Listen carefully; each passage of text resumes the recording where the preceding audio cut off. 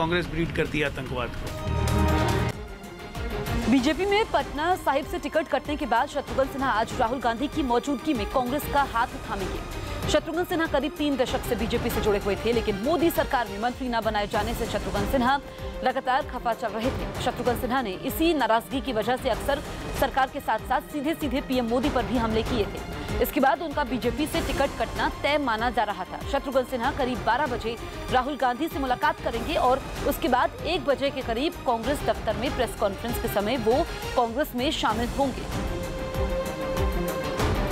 लोकसभा चुनाव के लिए तृणमूल कांग्रेस ने घोषणा पत्र जारी कर दिया। ममता बनर्जी ने घोषणा पत्र छह भाषाओं में जारी किया, जिसमें विपक्षी गठबंधन के सत्ता में आने पर नोटबंदी की जाँच का वादा किया गया। साथ ही घोषणा पत्र में योजना आयोग को फिर से बहाल करने का वादा किया गया। इसके अलावा 10 दिनों के काम की योजना को बढ़ाकर 200 दिन का करने का भी ऐलान किया गया। घोषणा पत्र के मुताबिक तृणमूल कांग्रेस जीएसटी की समीक्षा करेगी और समीक्षा के बाद ही इसे लागू किया जाएगा।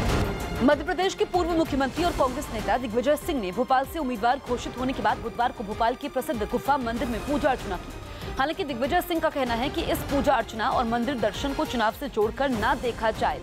लेकिन हकीकत ये भी है कि पिछले एक महीने में दिग्विजय सिंह ने 12 मंदिरों और मठों के दर्शन किए हैं, लेकिन दिग्विजय सिंह मंदिरों में दर्शन को अपना जीवन शैली बता रहे हैं।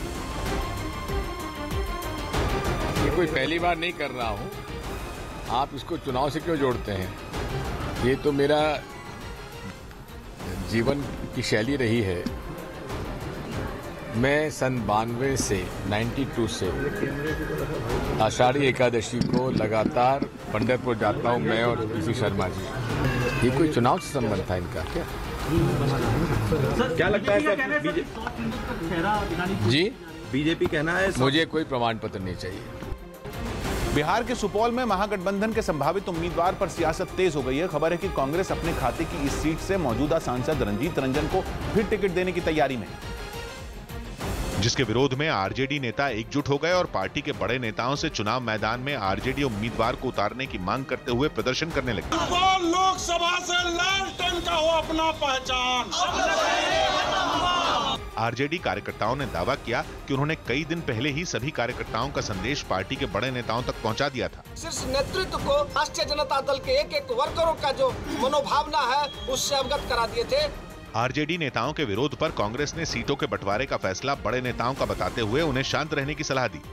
मैं समझता हूँ कि राष्ट्रीय जनता दल के जिला संगठन को यह हक भी नहीं है कि हमको सलाह दे कि रंजीत रंजन को हम उम्मीदवार नहीं बनावे एनडीए ने आरजेडी और कांग्रेस के बीच हुए इस मतभेद को उनके जनाधार से जोड़ दिया। उनका जनाधार खत्म जनाधार खो दिया है तो फूट होगी पीएम मोदी के लोकसभा क्षेत्र वाराणसी में बीजेपी ने अंतरिक्ष के क्षेत्र में भारत को मिली कामयाबी का जश्न मनाया। कार्यकर्ताओं ने मिशन शक्ति की सफलता पर एक दूसरे का मुँह मीठा करवाया। और बीजेपी कार्यकर्ताओं ने सड़क पर ढोल बजवाकर जमकर डांस किया। इस बीच कार्यकर्ता हाथ में बीजेपी के झंडे लेकर नाचते दिखे। डांस के समय कार्यकर्ताओं ने पीएम मोदी के समर्थन में नारेबाजी भी की। अंतरिक्ष में चौथी सुपर पावर के रूप में भारत का स्थान दिलाना ये राष्ट्र के लिए एक बहुत बड़ी उपलब्धि है। जश्न मनाने के लिए जमा हुए बीजेपी नेताओं ने एक दूसरे को मिठाई खिलाकर बधाई दी।